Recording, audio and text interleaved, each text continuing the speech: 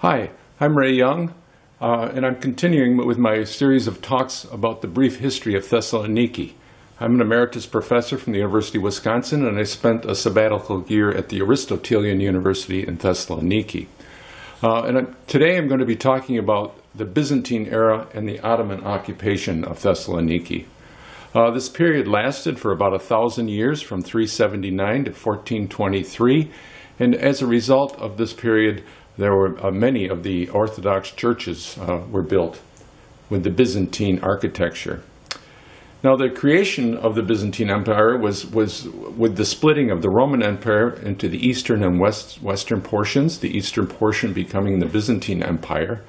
And it's, I should mention its borders varied considerably over a thousand years due to battles and incursions. And you can see the lower slide, which is a later period where the uh, the Turkish sultanates were incurred incurring into the Byzantine Empire.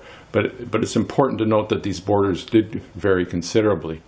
Uh, Constantine became the uh, uh emperor of the Byzantine Empire, and he renamed uh, Byzantium to Constantinople. And he oriented it towards the Greek rather than the Latin culture. And it was characterized by Orthodox Christianity, which he converted to Christianity. And here's some of the beautiful churches that exist in Thessaloniki today as a result of this period. Uh, the Agia Sophia uh, is the Church of the Holy Wisdom. It's, it's on the same structure as the Hagia Sophia in uh, Istanbul, although it's smaller, and it is one of the more uh, significant churches in Thessaloniki. On the lower slide is the Agios Demetrios, the uh, Church of St. Demetrios, the patron saint of Thessaloniki. Uh, Demetrios was tortured by the Romans and he died at this site uh, in Thessaloniki. This church was restored after the Great Fire of 1917. There are several other churches, the Panagia Chalkeon, Virgin of the Copperworks Church, and also St. Catherine's, which is located in the upper city or the Ano Poli section of Thessaloniki. Okay, uh, now move on to the Ottoman period, which was a, a, a period of 500 years. Uh, it had a significant impact on the city from 1430 to 1912.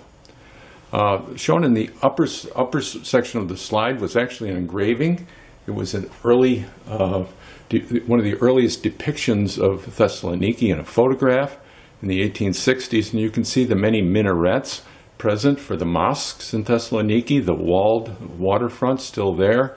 And then on the top of the slide, the seven tower Acropolis uh, sitting up on the top of the city.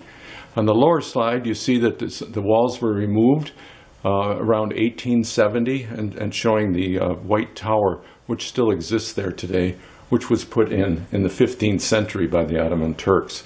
They opened it up the city so it could expand uh, on the east and west, but half of the walls still remain.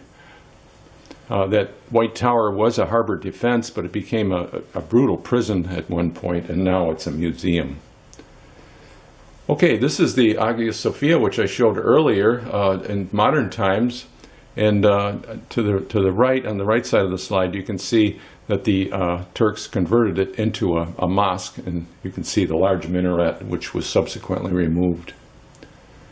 Okay, this you come. We're coming to the very interesting demographics of Thessaloniki. It's home to the three great monotheistic religions in the world: Orthodox Christianity, uh, Sephardic Judaism, and Turkish Muslims. And you can see in 1490, the Greeks were the predominant population in the city of 6,000. Uh, Turk, the Turks were a considerable portion of the population of 4,000, but you'll notice a very small Jewish population. These were um, either Ashkenazi or actually they were mostly Roman Romanio, the original uh, Jews that came to the uh, to Europe and this part of the world before the, the fall of the temple. So uh, these were Romaniote Jews. And you see the population was only about 12,000. Now let's jump ahead 400 years. Population is 10 times more, 120,000. But one thing that's very notable is that the population in now is predominated by uh, Jewish people. And uh, there's roughly equivalent number of both Muslims and Greeks. But the Jewish population is, is, is the predominant population. And this is what we're going to talk about in our next uh, presentation of the, Sephardic, the coming of the Sephardic Jews to Thessaloniki. Okay, thank you very much.